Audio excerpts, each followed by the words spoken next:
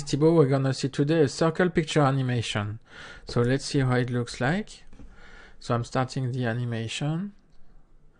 And then I have those cards coming in, those elements, with an animation on the picture, which starts from a circle position, it's becoming square, and then an effect on the text.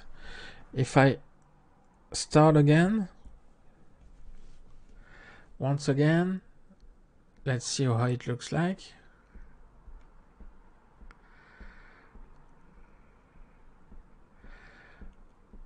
Okay, so let's see how it looks like in bricks.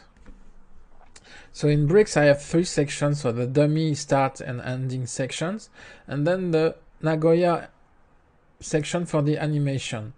So I gave a class to all the elements. So the Nagoya is the Nagoya section, container is the contain Nagoya container. And then I have five, five cards. Each card contains a picture wrapper and a text wrapper. Uh, and picture wrapper contain an image and text wrapper contain a heading and a basic text. So I won't go through the styling details, but one thing to notice is that in the container, I have the CSS. And what I did for media above 668 pixel, because I'm changing the layout at that breakpoint, the uh, I'm changing the order between the text and the picture. As you can see, the picture here you can see, but the picture is on the left and the text is on the right. And here the text is on the left and the picture on the right and so on and so forth. So that is done purely with CSS. And also I'm changing the text wrapper orientation not orientation, but the text align position from left to right.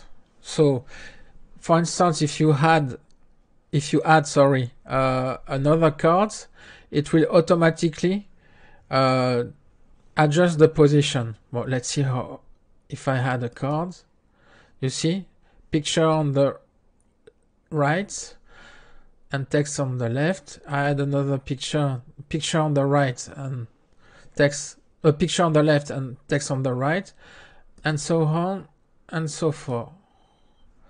So that I don't need. So I will go back.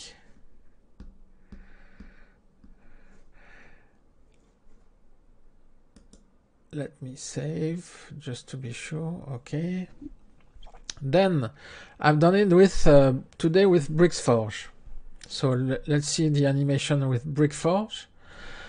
Uh, I try to be as lean as possible in the sense that I try to add, to minimize the code to add the smallest animation and the let's say uh, adaptable animation in the sense that if you add section uh, cards, it will automatically uh, be animated. You won't have to to to do uh, cards one, cards two, cards three, cards four, cards five, and so on and so forth to animate them. It will be automatically done. Because what I'm doing, I'm I'm doing one uh, entrance animation for the odd picture, so the third, third, fifth, seventh, and so on, and an animation the same one but reversed on the even. So the even are the second, the fourth, the sixth, and so on and so forth. So for one timeline, what I'm doing is animating the cards and I have a from two and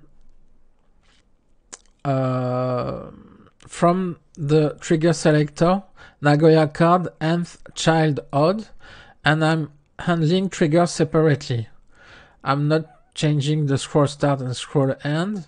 I'm adding a toggle action of play reversed, play reverse, and nothing else. Then for my trigger selector, so I have a from, so x minus 100% and y 100% to original position of 0% on the x and the y. I'm animating also the scale, so from scale 0 to scale 1. Then I'm animating the picture wrapper. So I'm doing a circle path, circle, 20% at 50%, 50%, so the center, 220% still at 50% and 50%. So basically it will got it will become a small circle to a big one. And then the the square, the, the, the picture portrait will reappear as a square. Then I'm animating the um, text wrapper.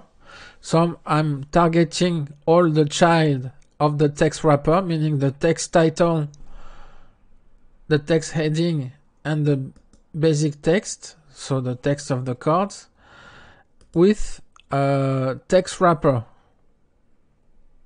superior and the star. So that will target all the children.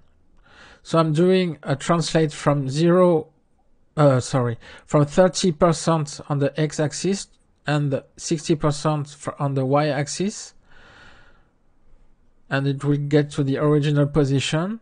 And what I'm doing too is a opacity, auto alpha zero. So auto alpha is the combination of opacity and visibility. and a certain duration. I'm using split text on the lines and a stagger of 0.3 seconds. Um, I think that's it. And for the even, I'm just changing the uh, few things. Instead of coming from the left is coming from the right so I have to instead of minus 100% I have to put 100% so the picture is coming from the right to the left. And the same for the text.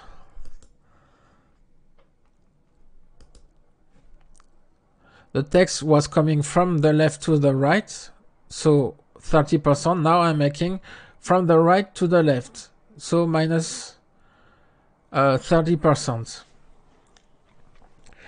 Uh, uh, I think that's it for today. So thank you for watching and see you at another video.